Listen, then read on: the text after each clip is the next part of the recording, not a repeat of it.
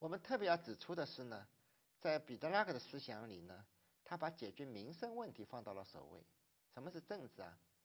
就是解决人民的民生问题。他认为公民积极参与政府管理，政府要呈现出一定的透明度，而民心的向背呢，靠的只是你如何解决民生问题。这个民生问题可以用一个大字眼叫共同利益来表述。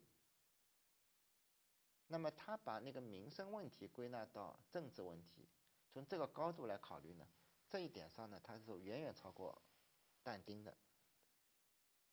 那么他的民生问题呢，包括很多种内容，比如说从国家的范围看，政府就要进行各种公共建设，啊，好好的修城墙，处理好城市的地下水道，处理好城市附近的沼泽地。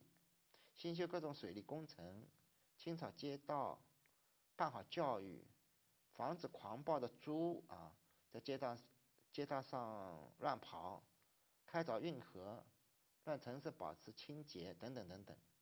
从他的那些关照面来看呢，这就解决了一个民生问题。那么为了关注人民的生活呢，他要求政府做到以下几点。第一，政府呢要热爱民众，要像爱自己那样来爱自己统治下的民众。那么彼得拉克呢试图劝说统统治者呢与人民结盟，因为得到人民的爱戴，才能赢得城城邦的安全。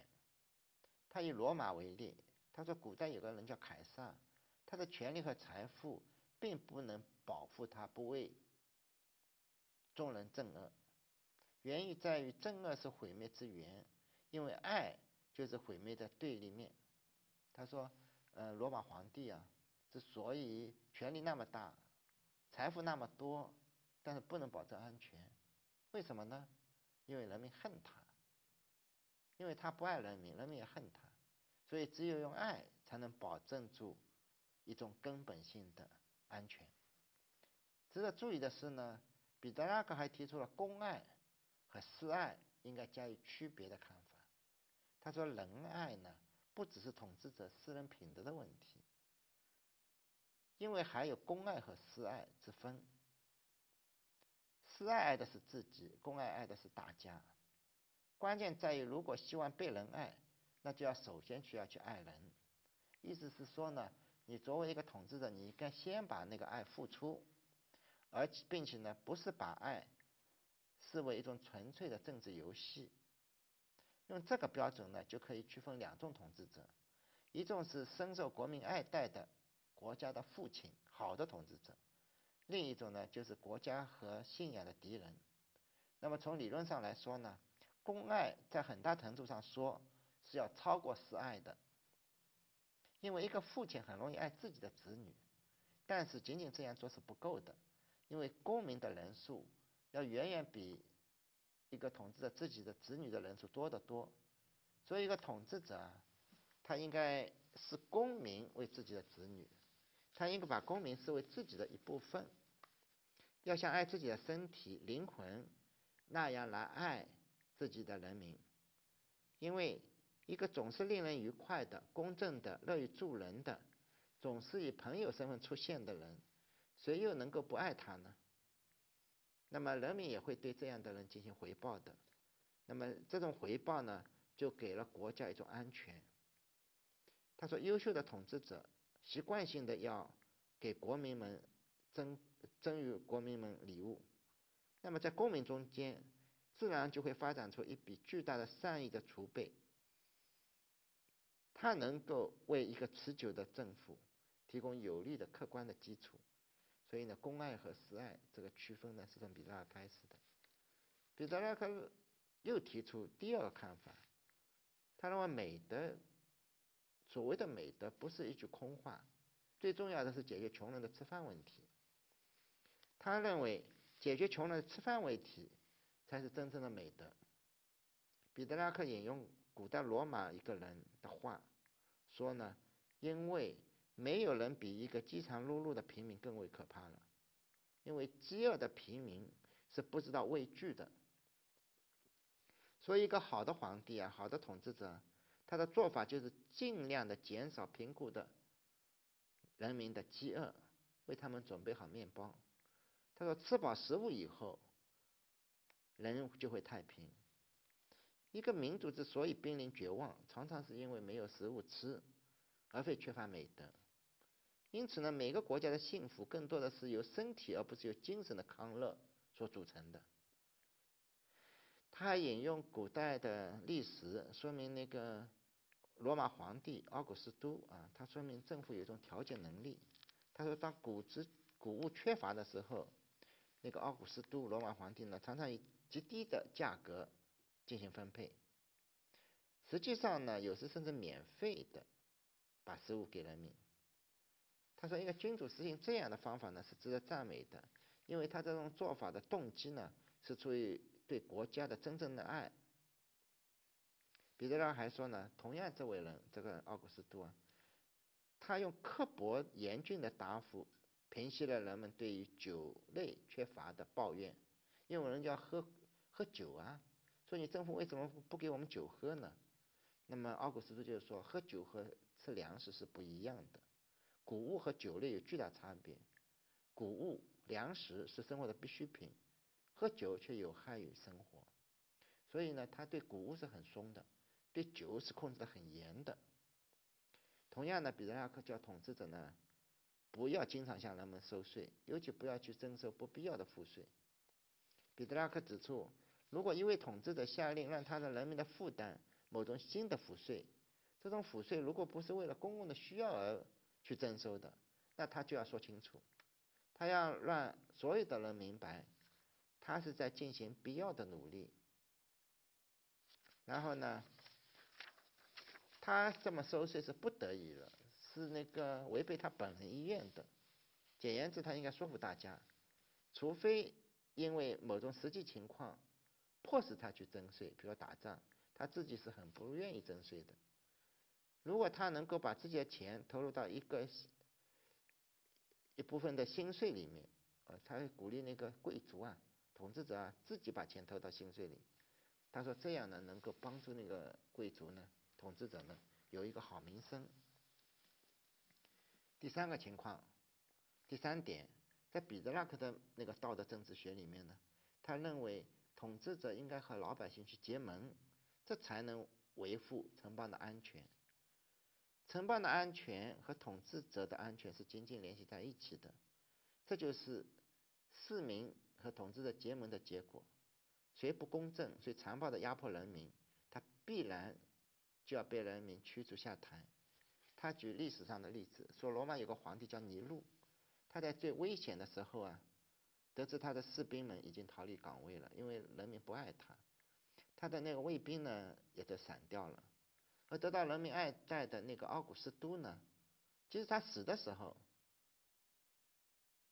根本旁边没有卫士。他死的时候，周围有谁啊？只是他的朋友、国民和妻子围在旁边，因为他爱人民，人民也爱他，不需要保卫。所以呢，他认为政治的合法性的基础呢，就是人民对他进行爱戴。假如一个统治者他深受农民痛恨，那种情况下他就不配当一个统治者。那么彼得拉克的那个道德政治学呢，最后一点呢，还要求保持城市的文明和清洁。他举了几件事啊，一个不能让猪跑出来，说现在那个猪啊经常在街上走来走去，那么应该建立猪圈，把猪呢管理好，不能让它乱跑。另外呢，他说有的人家。那个人死了以后呢，雇一些人在当街呢，那个哭泣。他说这是没必要的，这也是扰乱秩序的。你要哭就自己哭，你不能雇一些人来哭。那么另外呢，对于城市的那个地下水道，他说应该来修整。对于城市边的那个有恶臭的沼泽地，你应该派人去整理。那么他说这些公共设施啊、街道啊、城市啊。那个支出的费用呢，不能向人民征收，你应该动用的是什么呢？动用的是那个公共基金，公共基金早就应该有一笔钱专门为新修城市的公共设施的。那么这样一来呢，彼得拉克的那个政治学呢，虽然也是道德政治学，但是它比但丁的道德政治学呢要进了一步。不仅因为他提出的问题很具体，而且呢，它是完全建立在现实世界上的，和天国没关系，完全是在现实社会上关心民生幸福的问题上提出道德的。这一点呢，它是比但丁呢要远远的前进了一大步。那么接下来呢，我们就来讲那个公民参政的思想演变的第二个阶段。这一阶段呢，我们称它为文艺复兴发展时期的自由城邦论。什么叫自由城邦啊？就是内部是完全自治的，外部是能够抵抗外部入侵的。这样一种自由城邦呢，还在于它是代表民意的，还在还在乎呢它是公民参政的。所以这样一种自由城邦呢，换个名称就是。公民的自由共和国。那么，在彼得拉克和波加丘之后呢，文艺复兴就进入了发展时期，走上了一个新的阶段。那么，这一个阶段呢，就是从一三七五年到一四五零年，也就是第二个七十五年。这个七十五年呢，就被称为文艺复兴运动的发展期。它在意大利呢。给人带来的一个崭新的面貌，这里面也有些重要的人物，一个重要的人物叫萨鲁塔迪，另一个重要的人物叫布鲁尼，这些人给人们带来的一种新的思维，就是要建立自由城邦。从这里呢可以看到，他比前一个初创时期呢要来的进步，所以我们从萨鲁塔迪和布鲁尼开始，文艺兴。文艺复兴呢，就不再是一个个人的文化的运动，它发展成为目标清晰的，以建立自由城邦为宗旨的一种政治运动。之所以出现这种形式呢，与塞罗塔迪、布鲁尼等人相继在佛罗伦萨担任重要官职有关。他们担任什么官职呢？他们担任叫做秘书厅长官。秘书厅长官呢，就等于是一个城市的常任的一个重要官职。负责宣传和处理日常事务，实际上他们担任的官职呢，就相当于市政府的办公室主任兼宣传部长这样一个官官职，所以这样呢，他们就利用手中的权力呢，来进一步的推动那个城市的发展。那么从那个社会发展的那个看法来看呢？我们看到文艺复兴运动呢，就出现了转型了。为什么我们说文艺复兴运动要转型呢？就是早期的文艺复兴似乎就是由但丁、彼得拉克开启的研究古籍的、创作诗歌的这样一种文化运动。那么到了布鲁尼、塞洛塔蒂那个时代呢，它就转变为一个以建立自由共和国为宗旨的政治运动。那么这样一个转变呢，历史上有各种各样解释。首先呢，我们来向大家介绍一下，有一个巴伦所提出的市民人文主义这个概念。我们知道有一个在美国任教的德国历史学家，他的名字叫巴伦。巴伦呢，发现了那个佛罗伦萨那个运动文艺复兴运动的性质的转变。然后呢，他去研究了，研究的结果呢，就提出一个概念，叫做 civic humanism，翻成中文呢就是市民人文主义。按照那个巴伦的观点呢，市民人文主义转折点是一场来自于佛罗伦萨与米兰之间的战争。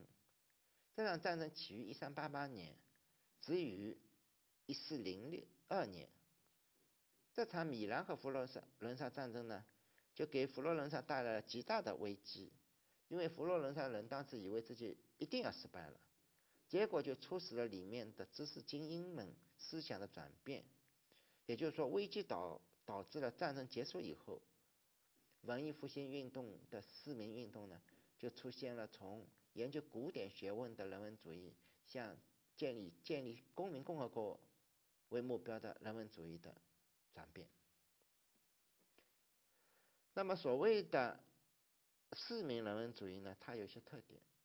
第一个特点就是要建立共和制度，要求建立自由的共和国。第二个特点是爱国主义，那大家为国家来奉献，公民要参政，鼓励献身，鼓励人们为了公共的利益、为公共的善而献身，这就叫做自我献身，成全公益。那么城市利益呢，要被看作是高于个人利益的。那么这些精神呢，在和米兰战争结束的时候呢，就已经出现了。所以呢，这个基本的理论观点呢，就是危机导致了变化。在那个对外战争的基础上，佛罗伦萨的风貌也很大程度上改变了，不再研究古籍了，或者研究古籍也重要，但更重要的是要建立公民共和国。市民人文主义作为一个原则，纲举目张，不仅仅是一个政治口号，还影响了社会、家庭、经济、军事、城市建设等各个方面。所以，市民人文主义呢，不是个理论，它在现实层面上具有推进社会的很大的作用。那么，巴伦这个概念提出来以后呢，影响是很深刻的，也引起了很大的争论。同意这种看法的人呢，其中有一个很著名的教授，这个教授叫鲍珀克，我们前面提到的，他当时呢是在约翰霍普金斯大学任教，他写了一本书叫做《马基亚维利的关键时刻》，很有名的一本著作，他比较了布鲁尼和马基亚维利思想之间的差异，他问认为后来成为政治家的马基亚维利，他是一个共和主义者，他的很多思想。是从萨洛塔底和布鲁尼的那里继承得来的，也就是他那个市民人文主义呢，具有很大的影响，最后一直影响到十六世纪的马基雅维里。另外一个人也很著名，他曾经当过美国历史学会的主席，这个人叫波斯曼。波斯曼写了一本关于威尼斯的书，他发现市民人文主义的这些特征不仅在佛罗伦萨有，在威尼斯也有。所以我们刚才说的一些人呢，都是支持汉斯·巴伦意见的，而作为反对意见的呢，就认为一场战争改变不了什么。人心是复杂的，社会也是复杂的，一场战争怎么就能造成运动的性质的转变呢？所以他们不同于巴伦的说法，他认为用战争来解释文艺复兴运动的转变，那是不够的。那么这样一些争论呢，就使我们看到，那个在那个布加丘和彼得拉克去世以后，文艺复兴的运动呢，确实是出现了新的变化。